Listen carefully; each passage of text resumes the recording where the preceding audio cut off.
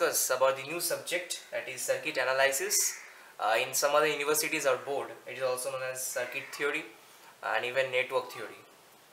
So, uh, what we will discuss in this uh, in this uh, session is the basic part that is the what is charge resistance and different network elements after that we'll discuss about different kind of source like voltage control voltage source voltage devices and uh, voltage control current devices at the same time I'll also discuss about different basic laws like Ohm's law, Joule's law and then we will discuss about the different session I mean the different kind of KCL, KVL and all. If time permits then I will also discuss about the Thevenin's theorem, superposition theorem, Tellegen's theorem etc. So let us start with the basic. Uh, another thing which I want to say you is that uh, there is actually a session in which I will uh, uh, I mean solve different kind of questions and queries sent by you. That will be a separate session. I will definitely take care of it and uh, I will definitely upload within uh, one week. So let us discuss today's session. So first thing which I need to discuss is the charge. As you can see, what is charge? Charge is basically a physical quantity in which the, the unit for is uh, the coulomb and it is given by Q. Now the current, what is current? So current is basically the amount of flow of charge through any conductor in per unit time. Mathematically it is given as I equals to Q by T. Then we have voltage. So before we discuss the voltage, we need to understand what is EMF. The full form of EMF is electromotive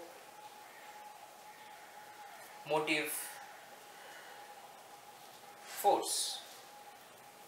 So what is electromotive force? Electromotive force is that kind of driving force which actually pushes the charge from a higher potential to a lower potential that is called as EMF. But EMF is generally being experienced in case of open circuit. So whenever we have a closed circuit, in that case we uh, actually you know modify the term EMF as voltage. It is given in volt. In the SI unit of voltage is volt. Then we have resistance. So any kind of uh, material when the charges flow through it, it offers some kind of resistance or some kind of hindrance. So the physical or the physical term for that hindrance is known as resistance. You see this, this charge, uh, voltage, current and resistance is a generalized term. It is applicable for both the DC circuit as well as the AC circuit. But whenever we are actually accompanying our AC circuit or we, we, we actually need to extrapolate our AC circuit, we need to understand these two terms that is inductance and capacitance. So what is inductance? So you see whenever you have uh, some kind of coil, as you can see in case of uh, motor, induct, induction motor or any kind of switching device, in that case we have an inductor out there. So inductor is basically a coil in which there, there due to magnetic flux a certain amount of energy is being stored. So basically inductance or inductor is a energy storing device. In inductor, the storing element or the what the quantity that is being stored is actually current. That's why I have given one formula out here that is phi that is the magnetic flux is equals to L dot I that is called self inductance. L is self inductance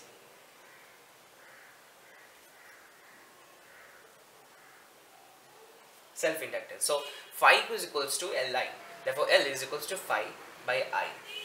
Now we have capacitance. So capacitance is what? Capacitance, capacitor you already have heard about capacitor like we have that thing in our normal ceiling fan or any kind of fan. Also we have these things in different kind of circuit, IC circuit, whenever any kind of filtration. See AC circuit or AC uh, signals are accompanied with different kind of noise signals. So we need to filter all those noises, those uh, I mean unwanted kind of uh, signals so we need to use a capacitor in that so capacitor is what capacitor is actually the capacitance is actually charge per unit voltage that is C is equals to Q by V the SI unit for it is farad See in case of parallel plate capacitor there are different kind of capacitors as well like a spherical capacitor, like a parallel plate capacitor and many capacitors. But in our general electrical circuit, we actually use a parallel plate capacitor. So what is parallel plate capacitor? There are two plates are there, one positive charge or negative charge and the amount of the total voltage or the uh, total voltage is actually Q by C is equals to Q by V given as V. We know the charge so the value of the C is equals to epsilon A by D, where A is actually the area of the parallel plate capacitor, D is the distance between the two plate, and E is equals to 8.85 into 10 to the power of minus 12. It's a constant value. Now, when, when we are actually uh, discussing about AC circuit, in AC circuit, uh, the, the quantity that was, uh, I mean, giving a hindrance to the flow of current in case of DC circuit, that was resistance. But whenever we are discussing about the AC circuit, the same quantity being modified and it is called as impedance. Now what is impedance? Impedance is basically the resistance in case of AC circuit. This impedance and resistance are no different. But resistance is only being only being used in case of DC circuit but whenever we are using an AC circuit then we, we need to uh, accompany this term that is Z and that is equals to root over R square plus XL minus XC square. Now one question you might get that what is XL and XC? XL is called as inductive reactance and that is equals to omega L. So what is omega L? Omega is the frequency of the circuit, I mean frequency of the signal. So as you can see in case of DC the frequency is 0. That means you have only you will only get this R.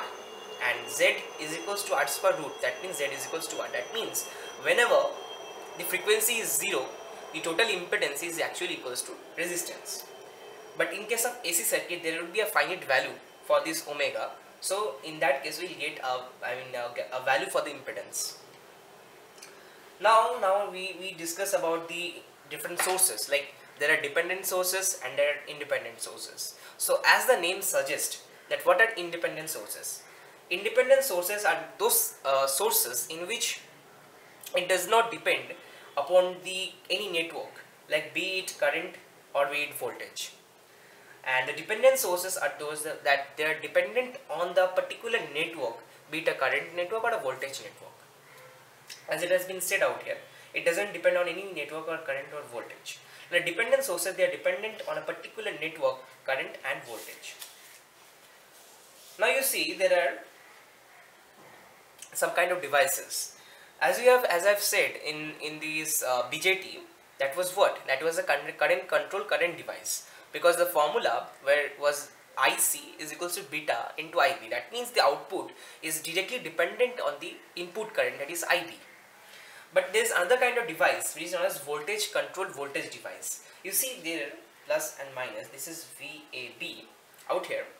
The input is VAB and the output I am giving voltage. I am getting voltage. That means this VCD is directly depending upon the VAB that means it is what it is known as a voltage controlled this is the controlling voltage and the voltage device that means the output is also a voltage is that is one uh, sign term you see whenever there is a voltage control dependent kind of uh, I mean when the when this circuit is a dependent voltage source in that case there is a diamond like structure you need to find. And if it is a voltage then you have to give the uh, sign. So the current is flowing in this direction. In this direction that means this part should be positive and this part should be negative. So what I have done is that that from the upper, in the upper part I have given a plus sign and in the lower part I have given a negative sign so this is all about this voltage control voltage device. Now we have voltage control current device. So in voltage control current device what we have is that we have a similar thing.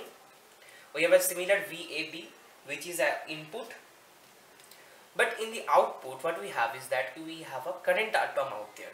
And this is flowing in this direction. That means the direction of the current is from above to below. So what should be given in this diamond is that that in spite of giving the plus and minus which was applicable in case of the voltage we will give a sign a arrow. And the arrow will represent the direction in which the current is flowing. So current is flowing from this direction like this. So we have this uh, arrow showing beneath I mean in this direction. So this is this is known as a voltage controlled current device. You need to understand this convention because whenever we are solving any kind of problem they will be given some kind of voltage source uh, secondary voltage or a dependent voltage source and there will be a primary voltage source. So we need to I mean justify the value of this uh, de dependent voltage source. Then only we can simplify the circuit and we can solve it for any kind of uh, like for finding the resistance or finding the any kind of voltage etc so before before I go into the main discussion you need to understand there are some important convention some important definitions. Like the first one is nodes. So what are nodes? Nodes is something like that whenever there is a junction and the junction of what? And the junction of is that there are two uh, circuit elements. Two or more circuit elements. Nodes. Uh, nodes. So in nodes is what? Nodes is basically a junction in which two at least two or more than two elements are connected together in this circuit as you can see there are uh, three network elements like R2 R1 and R3 so basically D is a node. Now we need to uh, understand the branch. So what is branch? Branch an element or number of elements connected between two nodes. Like see uh, D is a node. The minimum the minimum actually the benchmark for making any kind of junction as a node is that that two or more than two element needs to be connected. Here three elements are connected. So D is a node and A here two elements are connected. So A is also a node. So this is actually a branch because as the definition suggests an element or number of elements connected between two nodes is basically a branch. Now the loop. So what is a loop? Loop is basically when from a normal sense that whenever we start from a point and we get back to that point that is a loop by this by this uh, graph theory right? So if we start from D this current is going this current is passing through R4 then R5 then R3 and going back to D. That means this whole uh, I mean the whole thing from D A P C D is a loop. That is D A P C D is a loop right? Then we have a mesh.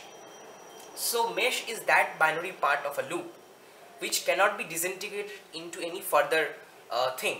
So what we can say is that DAP is a mesh so this is the binary things which uh, we are supposed to discuss then we have two important laws that is the Kirchhoff's current law also known as KCL and we have also Kirchhoff's voltage law also known as KVL. So what is uh, Kirchhoff's current law?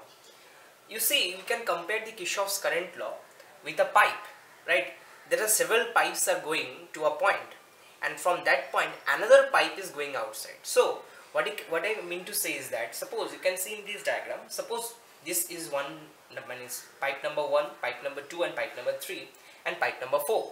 Some water is flowing in this direction towards the junction and in this pipe that is pipe number 4 the water is flowing outside.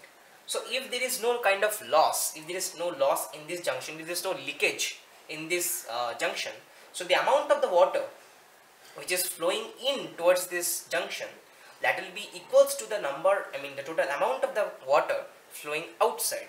So this is actually the current, I mean the Kirchhoff's current law. We can actually uh, replace the term water with the current. So the amount of the current flowing through, flowing towards the junction, towards the junction is actually equals to the amount of the current or the, value of the current flowing outside. This is actually known as Kirchhoff's current law. And then we have the Kirchhoff's voltage law. So what is Kirchhoff's voltage law? Kirchhoff's voltage law is that the total voltage, the total voltage, suppose we are, we are taking in this branch, I mean this loop, the VR1, this is the, I mean the voltage across the R1 resistance. VR4, that is the voltage across the R4. VR5, that is the voltage across the R5 and the VR3, that is the voltage across the R3. If we summarize all the voltages, then the total summarization of the voltage will be 0. That means the total voltage in any kind of circuit, any kind of circuit, I mean the source plus those other kind of uh, voltage across resistance, voltage across inductor, voltage across capacitance will be 0. So this is what is uh, I mean given in the KVL. So after this uh, Kirchhoff's voltage law, uh, there are two important things uh, which you need to remember is first one the uh, voltage and the current division principles. You see, whenever we are solving any kind of network uh, theorems or any kind of, I mean, analysis, we need to understand this voltage and current division principles as that what the value of what is the value of the voltage in any of the resistor, uh, capacitor, inductor maybe. So we need to, I mean, discuss this thing and after the discussion of it, I will directly jump to this uh, networking theorems like Thevenin's theorem. First I will start with Thevenin's theorem, then Norton's theorem, then superposition, Tellegen's theorem and maximum power transfer theorem. Other theorems are also there but those are less important. The, main, the most important are the first four theorem which I have said. So the first is the series resistors and the voltage division. As you can see in this circuit there is a voltage source V, there is a resistance R1 and R2 and both are connected in series combination. Now in Ohm's law, by Ohm's law V is actually equals to IR. Now the voltage is there and the current is flowing in this way. Since the volt, since the resistance are in these, uh, in I mean in a series combination, and there are no other branches, so the current in this whole circuit will be same. The I, the value of current will be same. That means that is VR1 by if we apply the voltage, I mean the Ohm's law, VR1 is equals to I, the amount of current flowing through R1 or flowing through this branch I into R1. This I have written that VR1 is equals to I R1 and similarly the VR2 that is equals to I R2. Now if we apply this Kirchhoff's voltage law out here, what Kirchhoff's voltage law says is that the total amount of the voltage or the summation of voltage term is basically 0. So uh, this voltage V minus this VR1 minus this VR2 should be 0, right?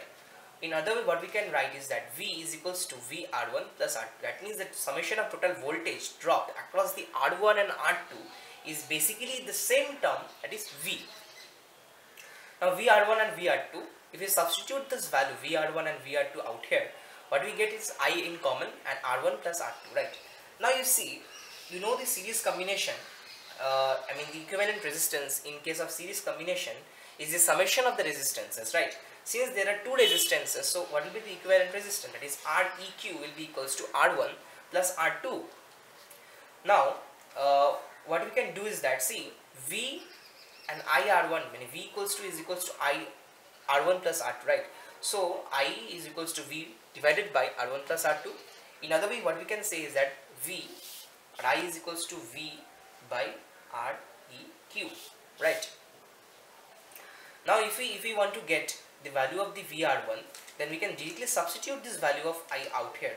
So what we will get is that VR1 R, VR1 is equals to R1 divided by R1 plus R2 into V and similarly VR2 is equals to R2 divided by R1 plus R2 into V. Just, sim just simply a substitution of all the things, nothing else, right? So if, if we consider that there are n number of resistances connected in series combination, in series combination, then what we need to do? If we are ought to find the voltage across the nth resistor. So what we can do is that, that Vn is equals to the nth resistance value divided by the total value provided that the circuit is in uh, series combination into the voltage. Then we will get the voltage across the nth resistor. So, so this is this is about all this. Uh, I mean the voltage division principle. In the next session, I will discuss about the current division principle and other uh, network theorems. So thank you and please send your query and subscribe the channel.